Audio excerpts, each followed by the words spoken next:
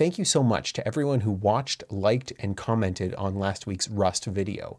We're going to keep going with the Rust theme this video. In fact, we're going to look more closely at one of the pieces of Rust that we used last week but kind of glossed over, and that is the parse method for parsing strings into other types. So as a quick refresher, here's how you can use the parse method on a string. We've got some string here that is a number, but it's being represented as a string, and we want to parse it to a usize type. And so we can do string.parse, and in the turbofish here, we can set the generic type to be usize. And now if we take a look at the type of num, it's not just usize, but it's a result of usize. The idea, of course, with the Rust result enum is that if we can't get a successful value, we need an error instead.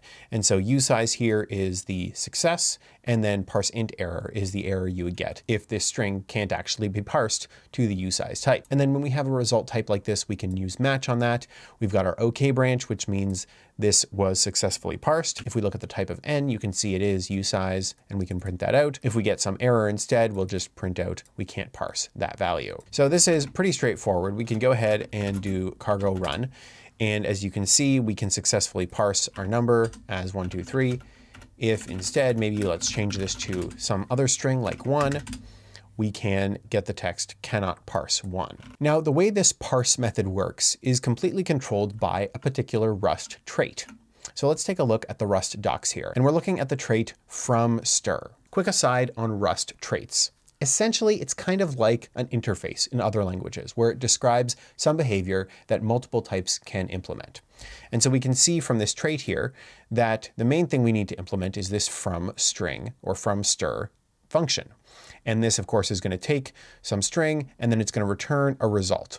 And a result is going to be self or whatever the type that this trait is being implemented on is. And we also need an error here, which is going to be pretty similar to the same error that we saw in our result type here, right? So in this case, it's a parse int error or a usize. And we're going to do something similar to that in just a second. Now, take a look through the docs. They actually give you an example here of implementing a point struct and how to implement FromStr on that. And we're going to do something very similar to this in just a second. But one of the cool things about the Rust docs is that you can see all of the cases where this trait is implemented in the standard library. For example, we can see how bool implements from string just by clicking on source right here. You can see it's a very simple method here. We just take a look at the string, and if the string is the text true, then we convert it to true. If it's false, we return false. Otherwise, we return our parse bool error.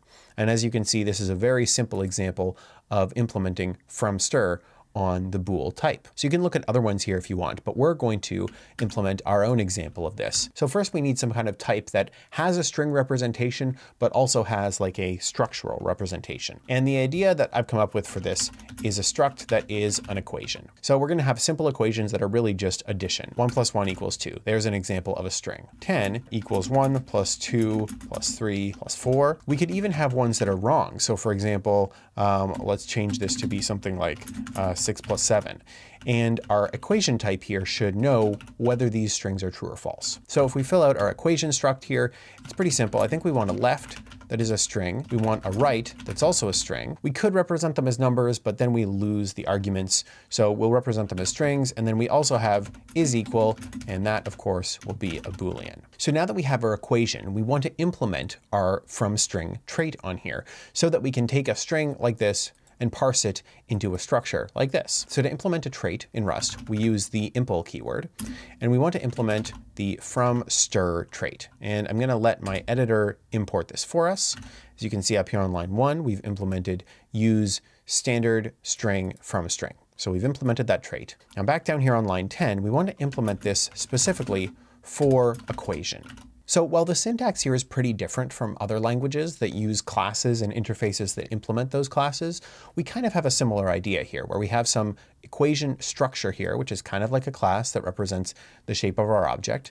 And then we have a particular interface from string that represents methods that we want to implement on that particular equation. The weird thing about the way Rust works though is it's kind of backwards, right? We're implementing from string here almost on the string type or as a way to operate on a string and convert it into an equation. It's a little bit backwards from maybe the typical object-oriented class interface model that we're used to, but it turns out to be really, really powerful, I think. Now we need to implement two things in our implementation of from string here. And if we go back to our docs, we can see what that is. We need to implement some type that is called error, We'll come back to that in a second.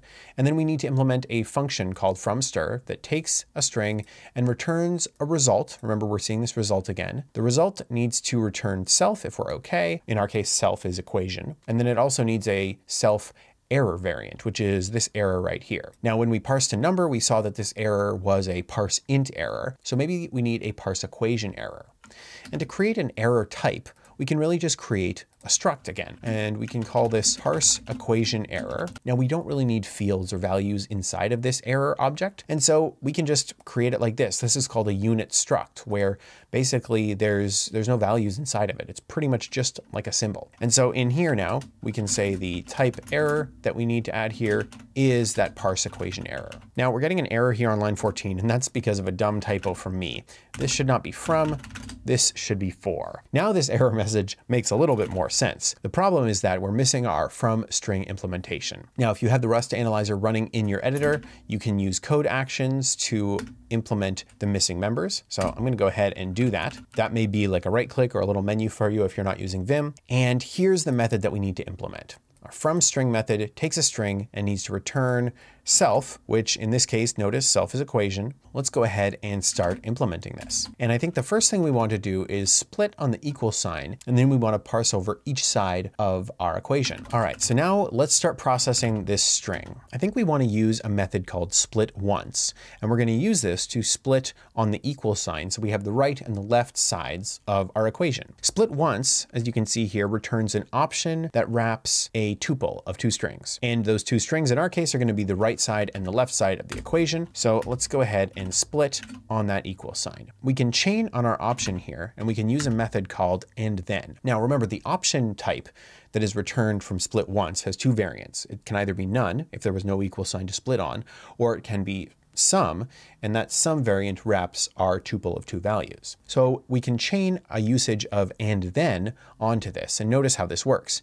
It returns none again if the option is none, otherwise it calls the function that we're passing to it. So this is a great way to ignore the none value and process the Some value. In our function here, we're going to destructure our tuple and we've got our left and our right sides. Let's write some code that is going to parse both of these strings into individual numbers. And we expect both of these strings to either equal a number or to be like a string sum. So like one plus two plus three plus four. And so we're going to write a little helper function here to parse both of those out. It's going to sum up that string of numbers. It takes our string pointer here and returns a number. So what we can do in here is split it on the plus sign here, and then let's map over each value in there. So each value that we map over is still a string, right? We're cutting a string into smaller strings. But then what we can do in here is do x uh, dot trim to trim any white space on either side. And then let's use parse again, right? We know we can do this. We want to parse this into a size element. Now, as we've seen, parse returns a result. So it could be a number, could be an error. And so let's unwrap that result object and let's do unwrap or, and if it's an error inside that result, then we'll default to zero. So what we should have at the end of this is an iterator over usize elements, right? Because we're mapping over the iterator that we get out of our split. We can finish this up by doing sum. Now our function here returns usize. So we're going to sum up all of these. So because this line here is the last expression in our sum function, the value of this is returned. Back up here, we can say let left equal sum over L, and let's let right equals sum of r. Okay, so now we're ready to return from our little function here. Now the and then function we're using requires that we return an option. An option has two variants, Some and none. So we're going to return the Some variant and we want to wrap this around an equation. All right, so our equation needs a couple of fields. We need a left, which in our case, actually we don't want to use this left because that's the value. We want to use the string version of left. So we're gonna do left.trim just to clean it up a bit. And then we're gonna do uh, string.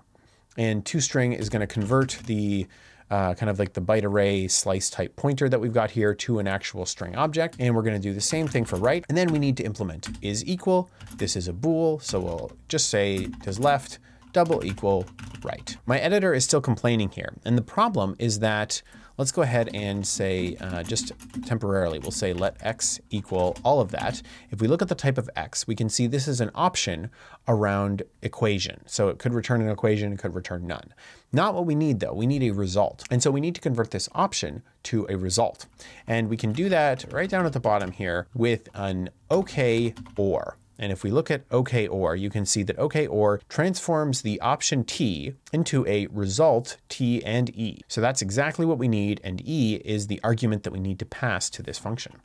So we're going to pass it uh, the parse equation error. And now if we go back to the top here and look at the type of X, you can see that X is a result of equation, which as we know is self, and parse equation error, which as we know is self colon colon error. So with all that being correct, let me take it off this variable assignment. So this really should be all we need to do to implement our string parsing for our own custom equation type. So let's give this a test run here. Let's write another helper function here, and we're going to call this test equation. And in here we can do s.parse, and we'll say we expect this to be parsed into an equation. And let's go ahead and match on that. Notice we have an error, of course, but the error has nothing to do with equation, which is good. What that means is Rust recognizes that it can parse an equation into a string. If we were to come up with some other type here, maybe I'm just going to copy this and I don't know, let's call it something else, user. If we had this user struct and I change this to be user, we get a different error here, which says that the trait from string is not implemented for user. So let's go ahead and change that back to equation. In our OK branch,